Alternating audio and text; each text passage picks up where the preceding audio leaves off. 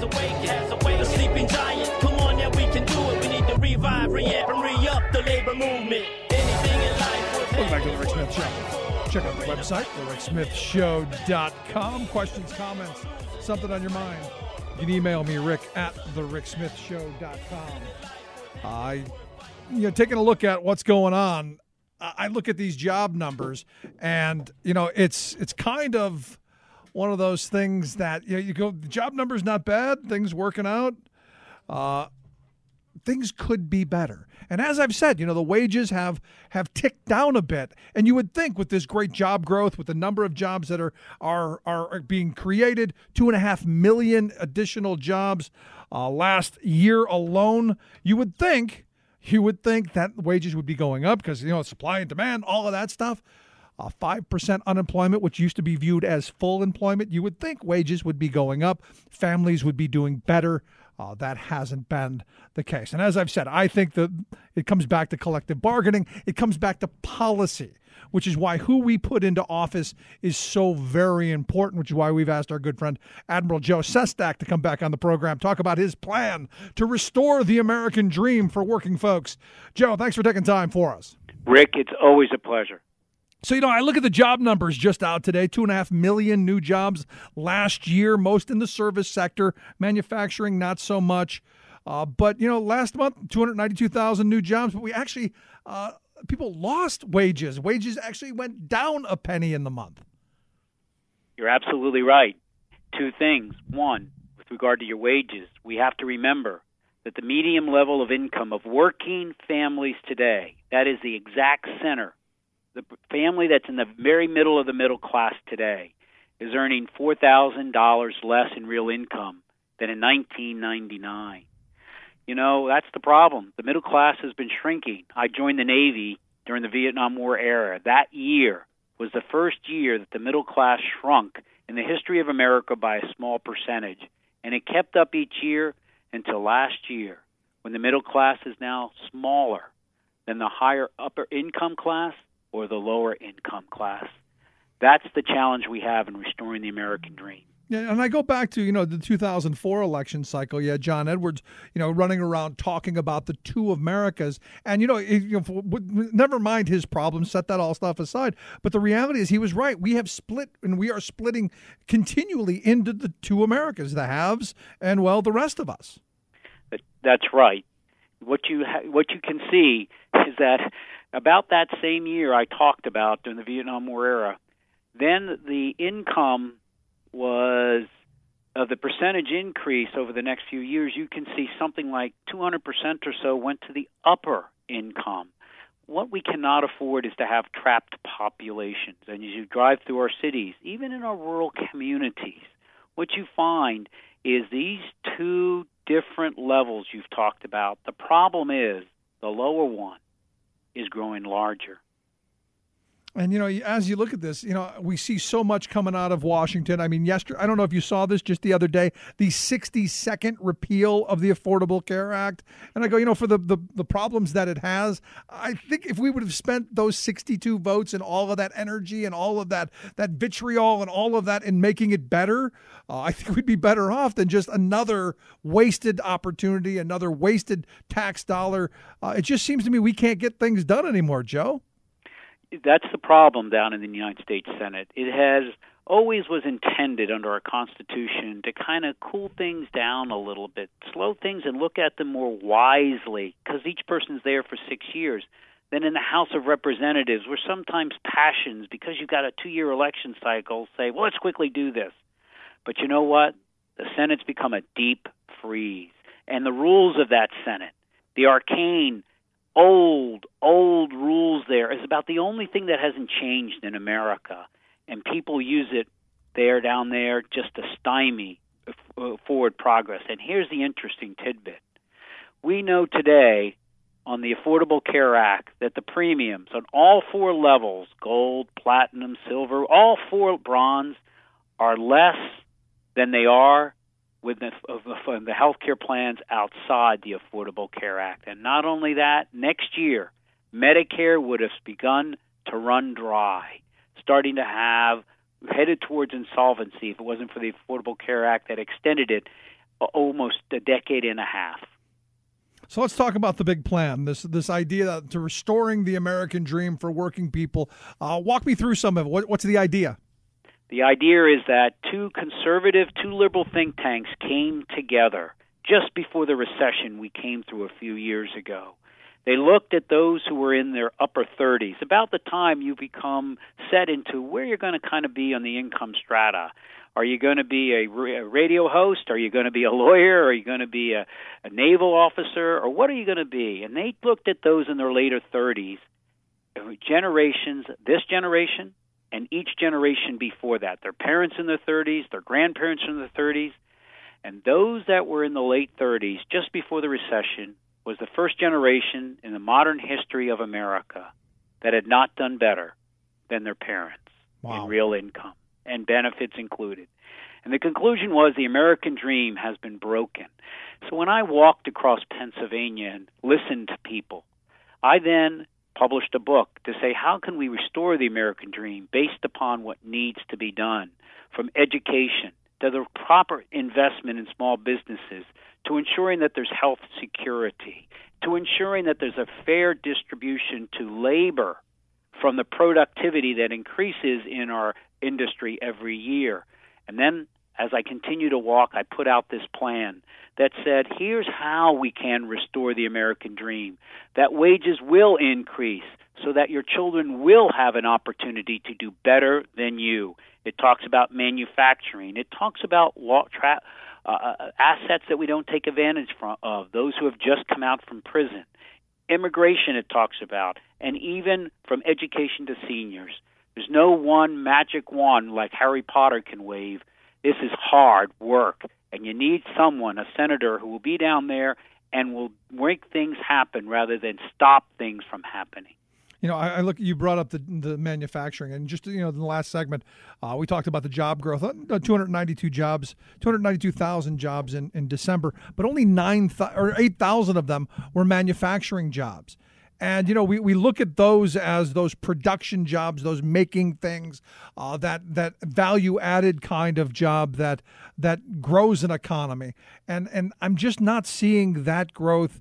And I, I believe it comes back to our trade policies. I believe it comes back to uh, how much control corporate America has over our Senate and over our policy making. And to me, you know, it's got to be putting people into those places. They're thinking about the average guy, the you know the the, the ham and eggers who are going to work every day. I want someone like that. You know, you're absolutely right. When I had my first job in the Navy, I had the artisans, those who were the welders, those who were the electricians that made things happen. We know that large industries are taking advantage of the United States Senate. It's why I turned down lobbying offers from them after I didn't win the Senate race, because they impact unduly down there. Think about this Right now, if a company closes a factory in Pennsylvania and opens it up in China, they get to write off their taxes. The cost of opening up and building a factory in China, I've we should close that. And yet, a bill was there to say no and say, but if you close the factory in China and move it back here, we'll let you write that off for jobs here. And that you know what? Sense. Industry rolled in on people like Senator Toomey and others, and they voted against it. Finally, this Think about manufacturing alternative energy. Every million dollars invested in oil or gas industry gives you one job.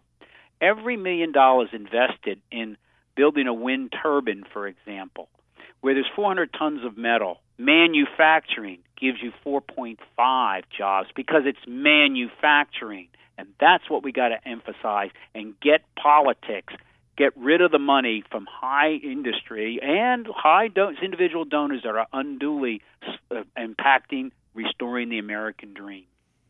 So we're maybe thinking about you know undoing some of the the, the corrosive uh, uh, effects of Citizens United, maybe with some legislation, or because I look at this and you go, who who's getting what they want out of our government, and it's certainly not working people.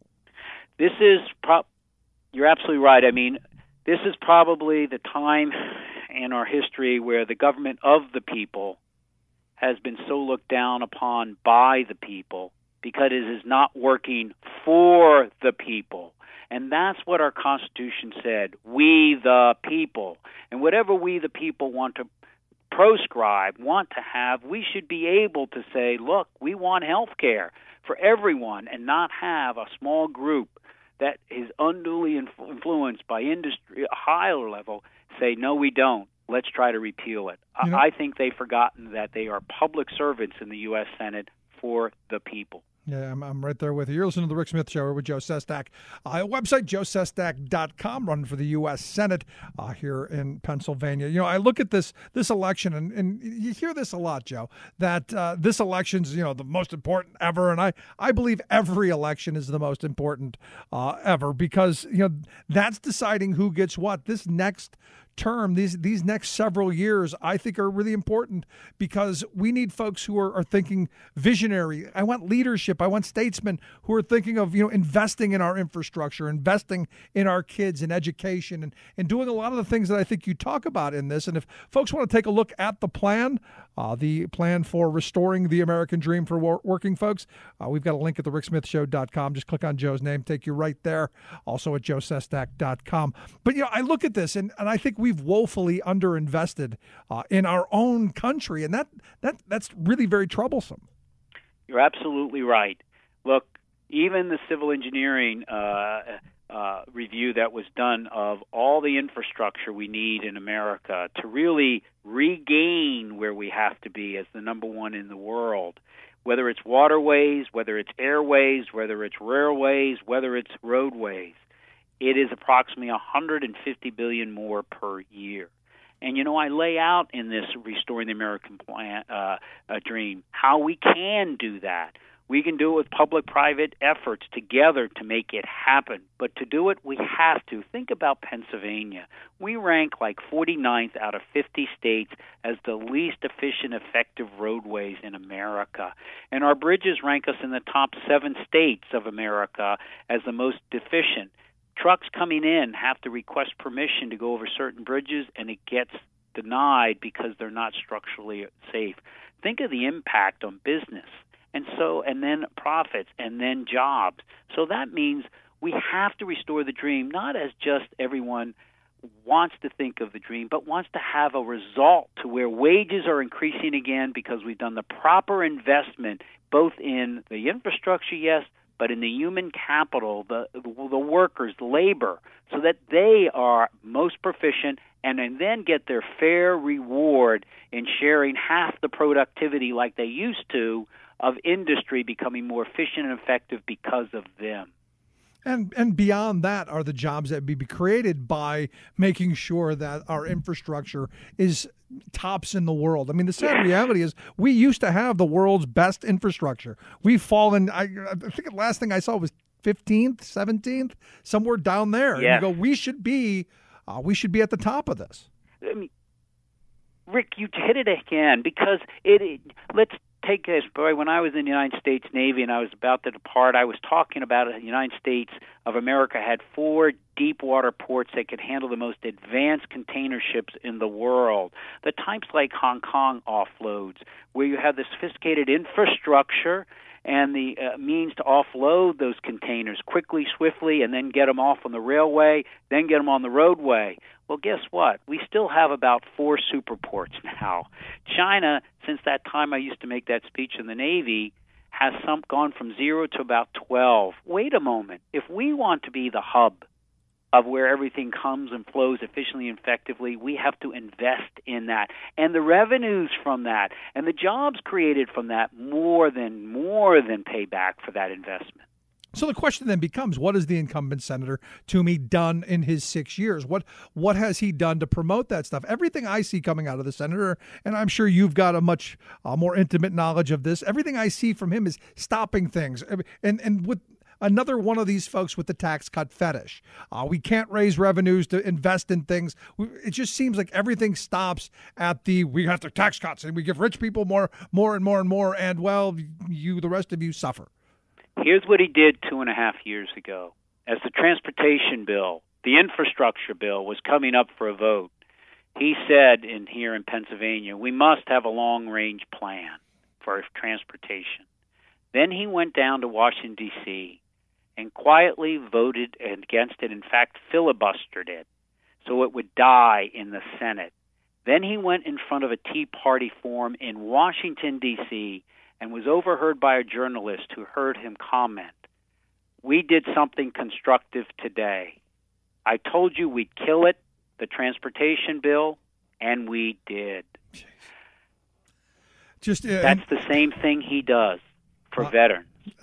He says, I'm concerned about my veterans. Veterans, he says, those who are committing suicide at too high a rate, those that don't have a job, the benefits that they need are being slowed. And yet, as a congressman, after he voted to send us to war, he voted against every Veterans Administration bill up until he was embarrassed this last December when just to, uh, when there was the scandal it, uh, in, in VA. Where was he for us vets when he said he was, but his votes were against it? Amazing stuff. Last question I've got for you. You know, we're seeing a lot of, of talk around the gun issue. Uh, the president issued the executive order, had the, the CNN thing last night, fake news on Fox saying, uh, you know, he's putting peppers and, and onions in his eyes. We see the insanity out in Oregon. Uh, what do we do, and what, what has the senator done uh, to, to you know move anything on the gun issue? Once again, we watched where finally an unfortunate massacre, Newtown, moved him to say he wanted background checks. The vote failed, and he said, We had our vote. It is now over. And yet, Senator Manchin said, It's not over. I'm going to continue to fight like we do in the military. You want the guy in the foxhole next to you every night as the adversary is coming against you, every night. Two years later, another massacre happened, and he came forward again, but only then backed off. Here's the issue twice he said in his last campaign how he really felt. He said, My idea of gun control is a steady aim. I don't think you do things for political reasons. I don't think you do things just because just because there's been a massacre. Your job as a leader is to prevent that massacre. And yet he was absent for so long until they happened. That's my disappointment in Senator Toomey. Yeah, I'm with you. Joe, I appreciate the time, man. Uh, good luck on this latest tour as you are out there on the road talking about how we rebuild the American dream and, and, and really you know restore that dream for average, everyday working folks. Uh, I give you the credit, and I hope the best for you. Thanks, Rick. Have a great day. Thanks for having me on. Great talking with you. Again, you can check out the website, joesestak.com, or you can look at the plan. Go to the ricksmithshow.com, click on Joe's name, take you right there. Quick break, right back after this. Stick around. You're listening to The Rick Smith Show.